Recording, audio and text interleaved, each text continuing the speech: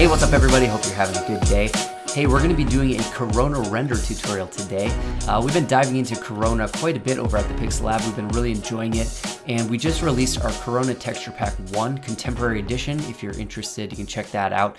It's a very delicious pack. But let's jump into our quick tip today. I'm going to show you a really interesting technique where you can control all of your lights and your HDRIs and the reflection and refraction and everything while it's actually rendering or even after it's done rendering. So it's a really, really interesting technique and it's super easy to set up. All you have to do is go to Corona and go into your multi-pass right here. And here's our multi-passes. Here's the available ones here. And we're gonna be talking about the light mix right here. So let's twirl this down. Let's enable our multi-pass and let's double click on light mix and we'll double click on light select to add those two. For light mix, we'll just leave it alone, but under light select, you can include any of your lights or your HDRI skies into this slot right here, and then you can control them after it's done being rendered.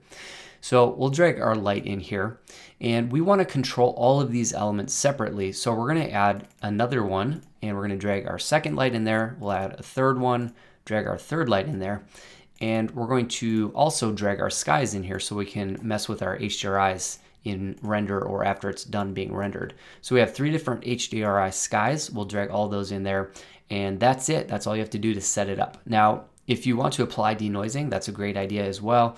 After it's done rendering, it will denoise all of these lights and will clean them up quite a bit. So I like to make sure that's checked on.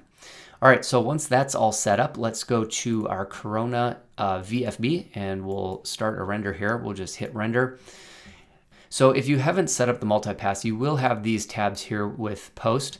And this is really cool because you can go into tone mapping and you can play around with all this different stuff. You can play around with the exposure, vignetting, you can even change the white balance. So there's a lot of settings that you can change uh, while it's rendering or after it's done rendering and then save out. But if we set up that multipass, we can actually go to our light mix tab here and we have all of our lights and HDRIs here, and we can actually toggle these on and off individually, which is pretty incredible.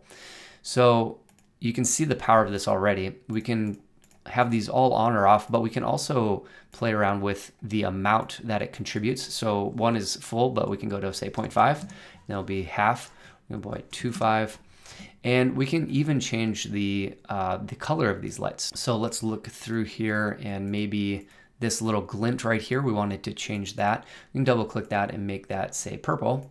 And you can see that now we have a purple light casting that little reflection right in there. So you can already see the power of this, how quick and easy it is to dial in all of these lights and their contributions and their colors. So once you have everything dialed in, you can just go to save and you can click save all or just click the save button.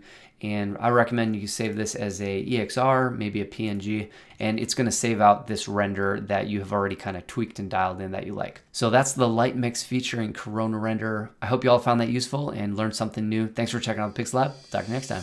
Ciao.